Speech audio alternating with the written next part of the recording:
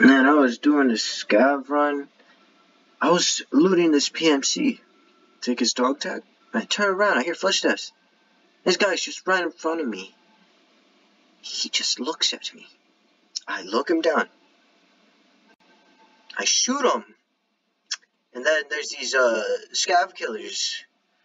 I heard them speaking Russian. They just shoot at me. I run, exit the hell out of there.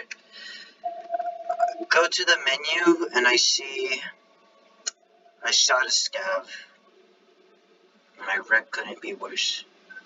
Oh, I mean, I'm at 0.01, but it feels like I'm not going to make any progress from it. I mean, it's just tough for a beginner. I mean, I don't know. I mean, I know how a scav should look like, but I mean, got it. I mean, this guy was wearing mostly clothes from a PMC.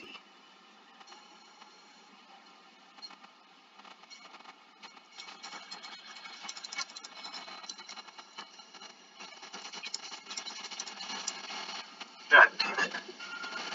What a start.